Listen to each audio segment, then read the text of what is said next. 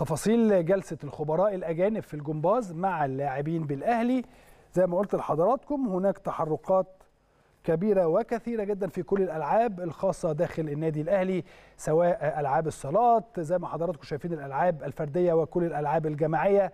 هناك تحركات من كل الأطراف.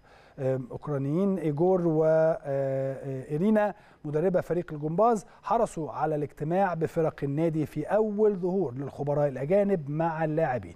ورحب الجهاز الفني والإداري واللاعبين بايجور المدير الفني لفريق الجمباز للرجال والأوكرانية إينا مدربة فريق السيدات وقام الثنائي بجولة تفقدية لملعب تدريب النادي. كل التوفيق لكل الألعاب في النادي الأهلي خلال هذا الموسم.